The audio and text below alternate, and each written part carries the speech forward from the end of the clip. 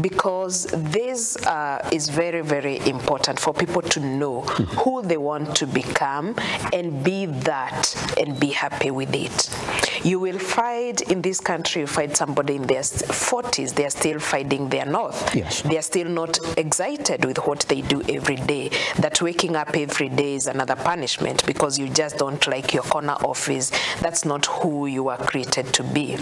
And choosing a career path also comes in line with your natural gifts. Everybody was given something by God that they need to accomplish on this earth. So whatever you do, you need to be successful in it. If it is becoming a policeman, become the best that there can be.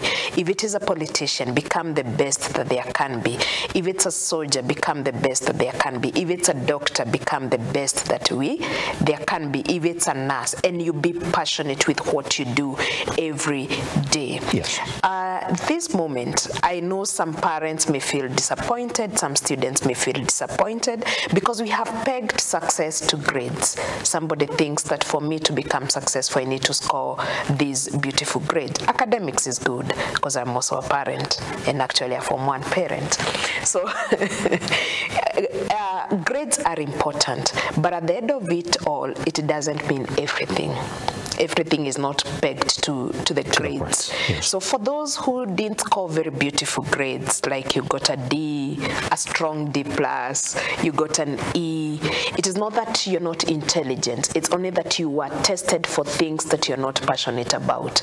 If you got a test of what you're passionate about, you'd have scored an A. So choosing a career path will need to start with what do I love doing? And we are in an era whereby uh, we just believe in the conventional careers. I've listened to you start the intro. Your intro was a hotelier, was a teacher.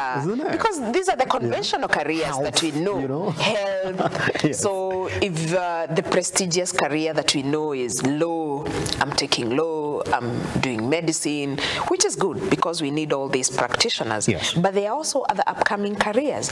And remember, we are headed for the fifth industrial revolution. So within no time, 60% of the careers will be phased out through automation. So you also have to be very cautious as you pick your career. Is this something that you can do lifetime? Will you be able to do it in the next 10 years? Or it will be some of the careers that we uh, will be phased out. Yes. And this is available. I know you're a journalist. You can look for this. You can look at the World Economic Forum, I think, for the past two years, Yes. talking about the future of work. Where are we headed?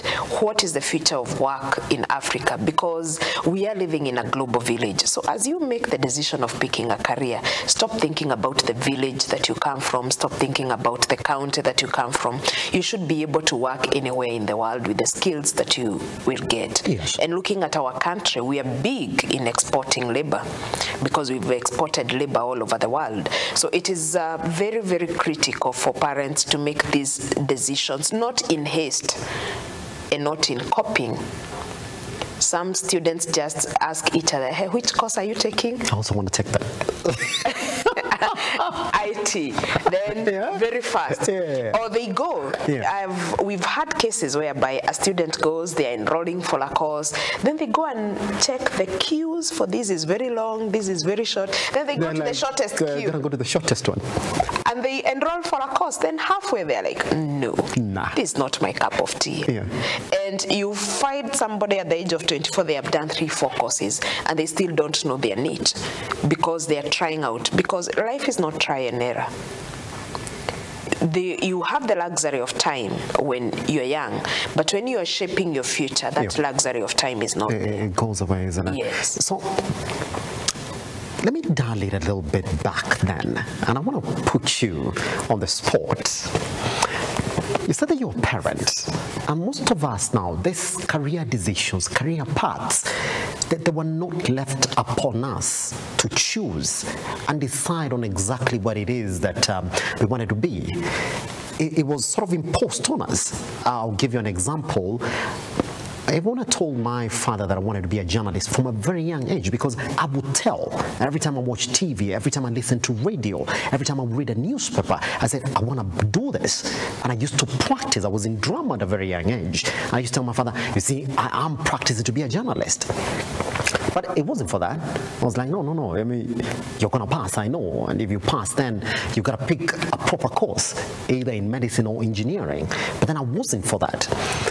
Right now, when you look at your family, and I know you're at a position then to examine your kid and be like, this is the place you could end up in. Do you think that even when it comes to career paths and career training, that the parents themselves, first, the people have the responsibility to even fund the career path for their kids, they need to be informed on uh, how to identify or help their kids know what they really want because some of them do not know.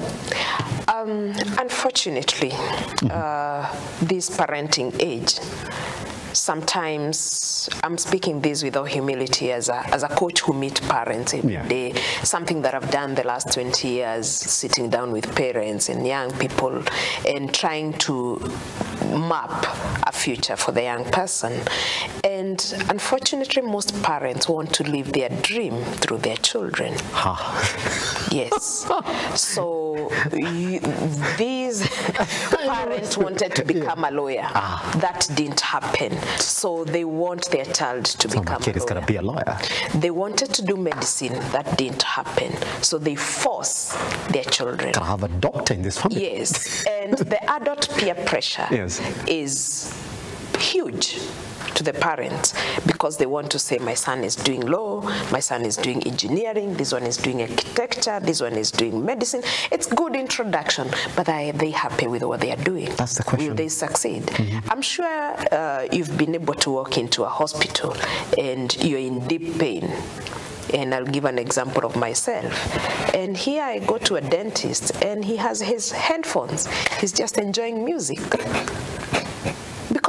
this person was supposed to be a musician. Right. That is what you'd do best. Ah.